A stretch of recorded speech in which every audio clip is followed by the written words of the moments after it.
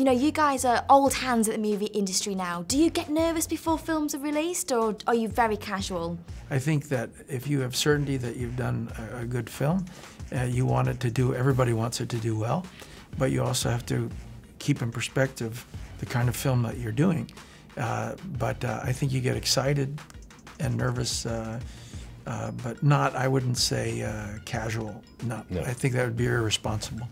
I mean, you, you've asked the studio to spend a lot of money on you and your movie, and you have you can't be casual at all. Now, obviously, it's a very, very serious film. How did that come across on the set? Was it very intense, or did you try and keep things relaxed? I think um, relaxed is always the best way to work. Absolutely.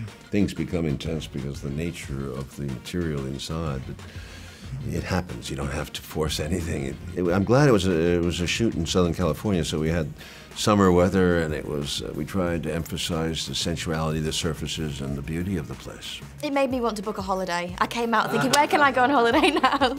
Uh, now, John, obviously you're a global icon. When you go onto a film set with up and coming young actors, how do they react to you? Are they quite nervous? You know, a lot of them got became actors because of me.